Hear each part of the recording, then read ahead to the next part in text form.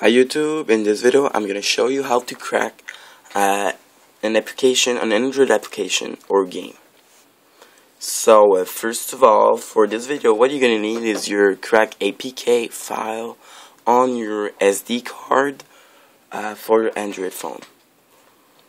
So uh, first of all, what you're going to need to do is download File Manager, anyone uh, me, I have ES File Explorer over here. And uh, when you're gonna have it, just open it. And you have to find your APK file that you downloaded uh, on your phone. So for me, I put it on the root of the SD card. So what you have to do is just click on it.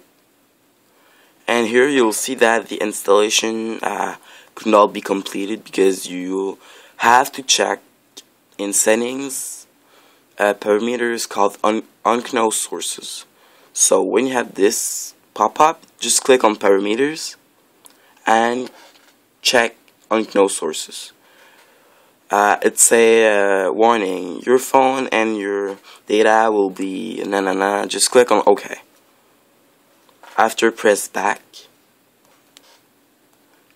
click on your APK again and now you'll be able to install it.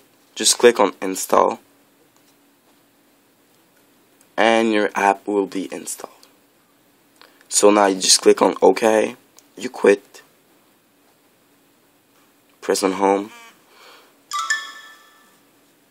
apps, and you will see that your apps is just over there. So, thank you for watching to my videos. Uh, please rate, subscribe, and comment.